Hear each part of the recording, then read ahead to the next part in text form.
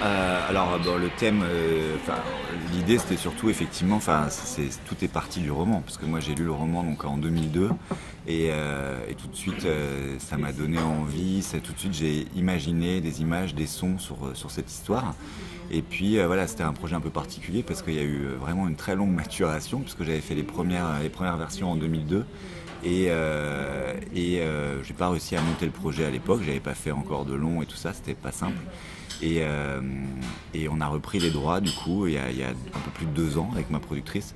Puis ça a été un, un travail de réadaptation et surtout j'avais pas eu envie de, de, relire le livre. Donc c'était vraiment un travail de souvenir, de sensations en fait quoi. Et évidemment puisque le roman parle de l'adolescence et de la vision aussi euh, du monde euh, par les adolescents et par le prof, euh, le prof Pierre Hoffman que joue Laurent. Euh, le monde avait beaucoup beaucoup changé en 15 ans, donc il y avait aussi cette, cette réadaptation. Et comment moi j'avais envie aussi d'y mettre des thèmes euh, qui, qui m'étaient chers. C'était très différent parce que déjà c'est, en plus c'est pas vraiment des images d'archives, c'est des images du monde contemporain, mais c'est vrai que ça ça y est pas du tout dans le bouquin en fait quoi. Donc ça c'est voilà une invention. Il dans le livre les, jeunes laissaient un, trésor mais qui était tout autre. Et euh, et voilà, c'était aussi évidemment d'ancrer en fait le, film dans, euh, dans, dans, le monde contemporain avec, euh, avec ces images qui, sont, qui font partie en fait un peu de notre, notre, maintenant de notre inconscient collectif. C'est des images qu'on connaît tous. Euh, qu'on connaît tous très bien en fait quoi, et qui font partie de, de, de, de oui, de, notre mémoire collective en fait de, ce monde contemporain.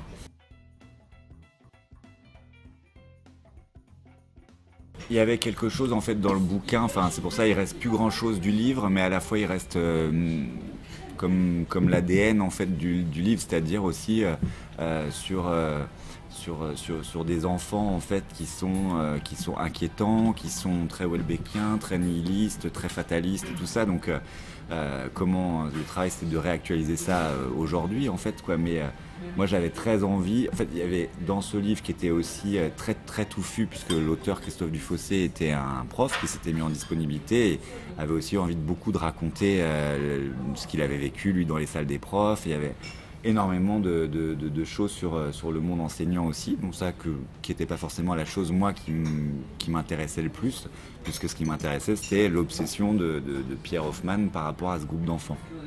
Mais euh, même si, et c'est pour ça que le, livre était, vraiment passionnant, c'était à la fois il était très concret en fait et très, euh, quotidien, et en même temps il y avait vraiment une puissance euh, de Stephen King derrière qui était là, et, c'est sûrement ça qui a qui a provoqué l'étincelle chez moi de vouloir me le réapproprier en fait.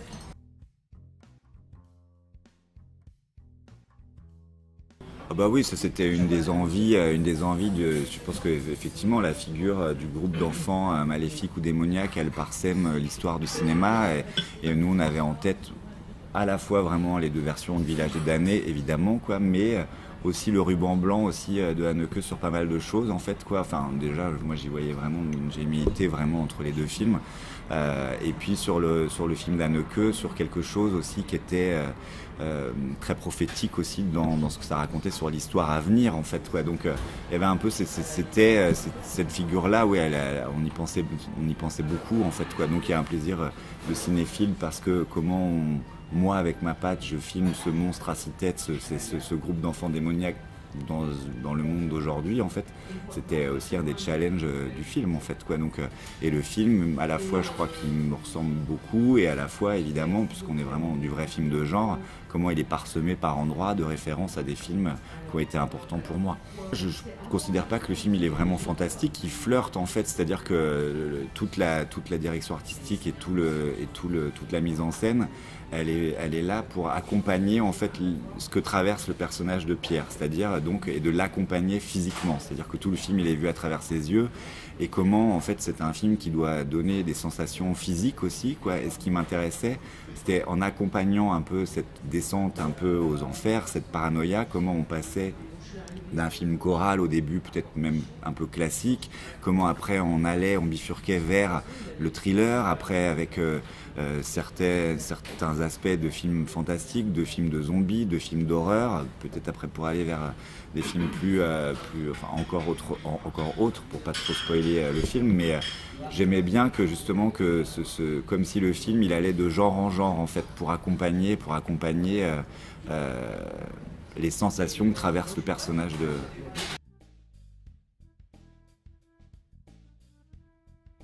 Ouais, moi je trouve que c'est. Enfin, déjà, en fait, c'est pour plusieurs raisons, mais déjà d'une des raisons assez basiques, c'est-à-dire que j'ai envie de filmer, que ce soit Marina ou Laurent, vraiment de les, de vraiment les filmer, c'est-à-dire aussi, aussi bien voilà, physiquement de tout ce qui dégage, et, surtout c'est ça que permet aussi le genre, c'est-à-dire comment le corps et comment Laurent a travaillé aussi, il a travaillé sur beaucoup de choses, mais sur, sur cet aspect-là, et sur Marina, comment elle s'était aussi entraînée, raconte de toute façon beaucoup de choses sur les personnages, donc euh, il y a déjà cette envie-là, et puis aussi quand même d'essayer de, les regarder un peu autrement. En fait, je crois pas qu'on ait vu beaucoup Laurent comme ça au cinéma, je crois pas qu'on ait vu beaucoup Marina comme ça au cinéma, de les iconiser aussi un peu, de les sexualiser aussi, en fait, quoi. Donc euh, voilà, c'était une envie, j'avais vraiment envie que Laurent soit très beau dans le film, et, euh, et, tu l'es. non et voilà et c'est vrai qu'en plus ça raconte aussi beaucoup de choses sur ce personnage qui euh, qui quand même s'ennuie qui est vraiment dans une phase de sa vie aussi où qui est un peu en, creux en fait à ce moment-là euh, et, comment les personnages euh, de mes films effectivement comblent un peu ce vide aussi par euh, le sport, par l'entraînement, par quelque chose qui est finalement assez presque masturbatoire en fait quoi comme un truc un peu solitaire finalement quoi. S'il y a un point commun aussi entre les deux films, c'est-à-dire c'est vrai que la plus souvent les films de genre sont filmés de nuit, sous un, sous un temps pluvieux et tout ça. Et là, d'un seul coup, moi, il y a, quelque chose qui est similaire entre les deux sur cet aspect caniculaire qui, moi, m'angoisse certainement beaucoup plus en fait que, que, euh, temps, un temps de chiotte, quoi. Et euh, il y a quelque chose de très étouffant. Et justement, c'était l'envie aussi de filmer Laurent comme ça, avec toute cette sueur aussi et tout ça. Il y a quelque chose qui, qui, qui est angoissant juste par ça, en fait, quoi.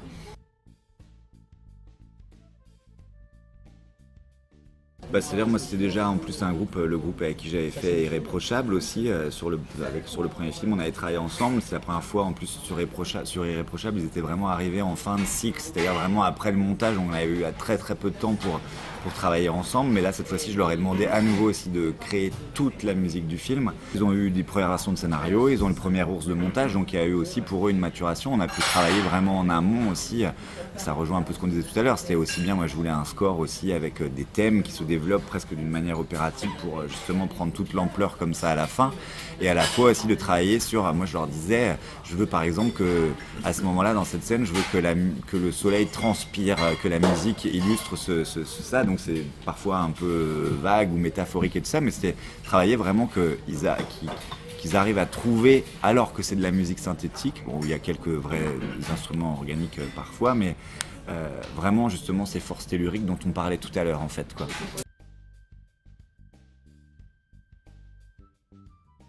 Par rapport à nos ados ou le retour euh, Oui, bah, c'est ce que vous disiez tout à l'heure, quels sont les retours aussi des spectateurs. C'est-à-dire que nous, maintenant, on a fait quand même énormément de festivals et euh, pas mal de projections et tout. Maintenant, on arrive clairement à identifier un peu les, réactions et c'est assez drôle de voir comment justement les, les 15-25 ans sont extrêmement enthousiastes sur le film vraiment parce que déjà c'est une génération qui aime bien avoir peur aussi parce qu'il faut rappeler aussi que c'est un film de genre, de plaisir aussi malgré tout même si on parle de choses importante et tout ça, et politique, mais c'est aussi, le film il est créé pour aussi les gens qui aiment ressentir ça au cinéma.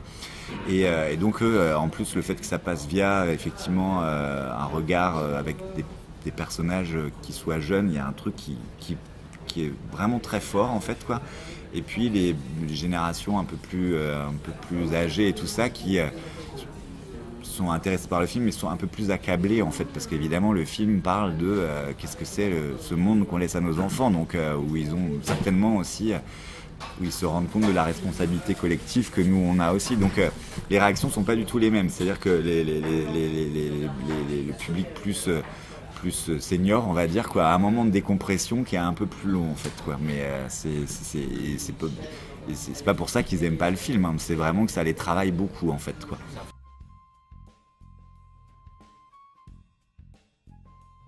Donner un exemple, c'est-à-dire que par exemple tout ce qui est Fight Club, le moment où ils sont suspendus euh, euh, sur la grue, le moment où, Laurent découvre les trésors, enfin la caisse, le moment où les enfants sont devant la, la, falaise tout ça, tout ça on l'a fait en une journée quoi. Donc c'était cette journée, moi j'ai cru que j'allais devenir dingue. Toi c'était la piscine l'autre jour, je pense que c'était les deux journées vraiment les plus dures, mais en plus parce que le jour de la piscine il faisait vraiment froid alors qu'on avait eu 50 degrés les autres jours et tout ça. Enfin, de toute façon le film il était extrêmement dense, même techniquement, tout ce qu'il y avait comme émotion à trouver et tout ça. C'était, on s'est pas, on s'est pas ennuyé, on n'a pas chômé quoi. Vous tourné en combien de semaines? Bah 8 en fait. 8, semaines, ouais, 8 semaines, mais bon, j'ai fait 5 jours de rap, donc on peut dire un peu plus, mais en heure sup, quoi. Mais c'était 8 semaines, ouais, c'était pas. C'était. Il y avait beaucoup de décors, beaucoup de choses compliquées, aussi même les animaux, aussi justement, sans raconter, enfin voilà, tout ce qui, toute la course-poursuite et tout ça, c'était quand même. Euh, c'était intense quoi.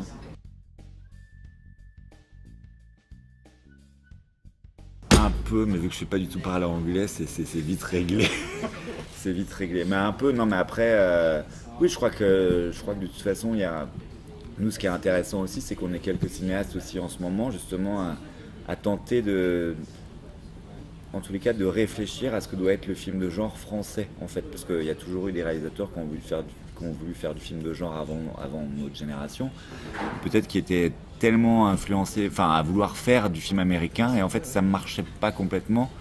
Et du coup, je pense que bah, c'est vrai que Grave avec du Cournot, enfin, je pense que c'est vraiment une pierre angulaire vraiment importante aujourd'hui sur comment on peut redéfinir et comment on peut faire avec euh, Xavier Legrand jusqu'à la garde, par exemple, ou Charuel aussi avec Petit Paysan, qui a un sub vraiment du genre dans son film.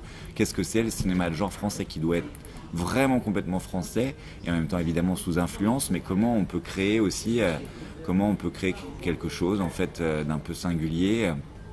Et je pense que, enfin voilà, on parle de réalisateurs justement qui sont un peu, qui intéressent un peu les Américains justement quoi.